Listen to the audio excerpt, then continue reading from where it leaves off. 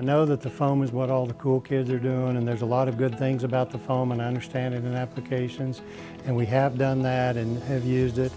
But in general, it, the, I can't find a mathematical difference in the R values and penetration between the foam and the blown in. But the blown in, it is less expensive, which is important, even though I build a very kind of extravagant kind of home. Um, people don't get where they can afford these homes by wasting dollars. And so if there's not a real net gain in the use of the dollars, it's hard for me to recommend. And so the fact that the blown in is slightly less expensive is important. I, I feel like it has better sound qualities. Not everybody agrees with me on that. It is certainly friendlier to work with. And so the nature of my homeowners is we make a lot of changes. Homeowners walk in and say, well, it's this, but I wanted to add this here, whatever.